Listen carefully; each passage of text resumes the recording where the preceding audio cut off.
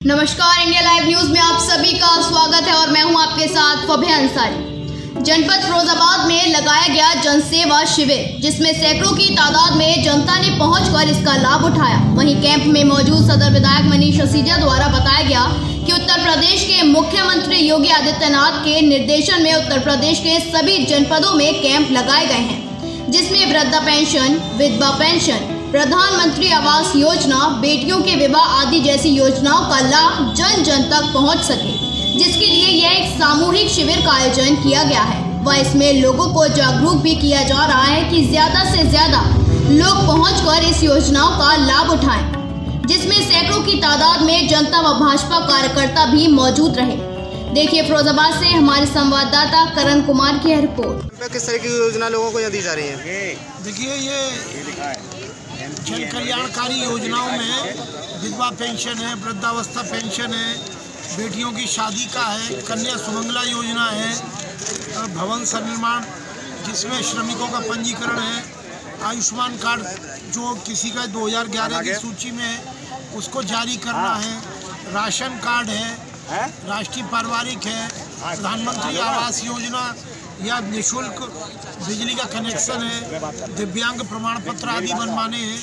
इस प्रकार के जो भी जितने भी काम हैं, यहाँ पर हमारे सभी सम्मानीय भारतीय जनता पार्टी के नेतागण, हमारे सम्मानीय पार्षदगण, क्षेत्र के सम्मानित समाज सेवी सभी लोग मिलकर हम और जन सहयोग से ये शिविरों का आयोजन हो रहा है। इससे दो तीन बातें हम लोग करने में सफल हो पा रही है।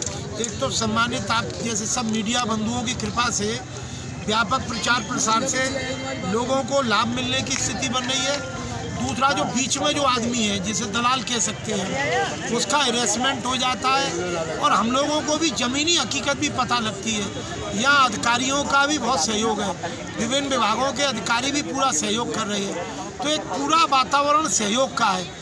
सहयोग से जनता के द्वार में माननीय योगी जी की सरकार इस अवधारणा के तहत हम लोग काम कर रहे हैं। माननीय योगी जी का निर्देशन है, माननीय योगी जी का मार्गदर्शन है, उनका नेतृत्व है। भारतीय जनता पार्टी के सभी कार्यकर्ताओं का एक संकल्प है कि हमें अपने क्षेत्र की जनता के बीच में जा जाकर कैंप लगाएँगे। आज ये तीसरा दिन था, कल वहाँ गोपी कौशल्या नगर में गोपी श्याम इंटर कॉलेज में शिविर लगेगा उसके बाद आगे लगेगा लगातार आठ तारीख नौ तारीख तक शिविर लगते रहेंगे thank you thank you thank you दोस्तों। आ, आ, क्या कर रही हो अंजलि? इतने में थैंक यू बोल रही हो। अभी तो इनको लाइक करना है शेयर करना है सब्सक्राइब करना है तब जाकर हम बोलेंगे इनको। Thank you